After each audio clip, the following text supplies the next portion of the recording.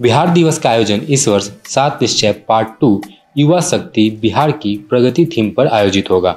अगले महीने 22, 23 और 24 मार्च को गांधी मैदान एस के मेमोरियल सभागार रविंद्र भवन और बिहार संग्रहालय परिसर में भव्य कार्यक्रम का आयोजन होगा। बिहार दिवस के मौके पर कला संस्कृति एवं युवा विभाग के द्वारा फ़िल्म फेस्टिवल प्रदर्शनी पेंटिंग कार्यशाला मूर्तिकला महिला फोक आर्टिस्ट के कलाओं की प्रदर्शनी एवं स्क्रिप्ट राइटिंग कराए जाने का निर्णय लिया गया है।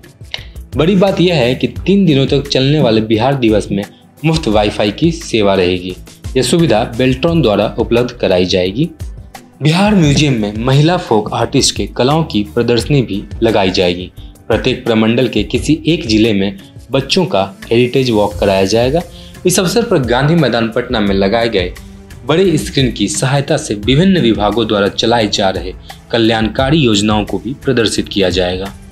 कला, संस्कृति एवं युवा विभाग द्वारा ललित कला एकेडमी में पेंटिंग, पटना आर्ट कॉलेज में मूर्ति कला तथा स्क्रिप्ट राइटिंग की प्रतियोगिता आयोजित की जाएगी। पटना स्थित सिनेमा हॉल में तीन दिनों तक चुनिंदा फ़िल्मों का प्रदर्शन किया जाएगा। आमजनों के लिए फ़िल्म देखने की सुविधा मुफ़्त में उपलब्ध होगी। पहले आओ, पहले पाओ के आधार पर टिकट बांटे जाएँगे। बिहार दिवस के अवसर पर पर्यावरण, वन एवं जलवायु परिवर्तन विभाग द्वारा राजगीर के घोड़ा कटोरा, जू सफारी, वाल्मीकि नगर स्थित टाइगर रिज़र्व, कैमूर के करकटगढ़, रोहतास के तुतला भवानी, अररिया के रानीगंज आदि स्थलों का विद्यालय के बच्चों को भ्रमण कराया जाएगा।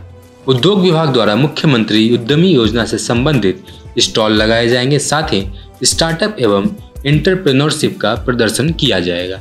विद्यालय के बच्चों को सुधा के पटना, मुजफ्फरपुर एवं बरौनी प्लांट में भी भ्रमण कराया जाएगा। प्रभात खबर डॉट कॉम, विश्वास वही, रफ्तार नहीं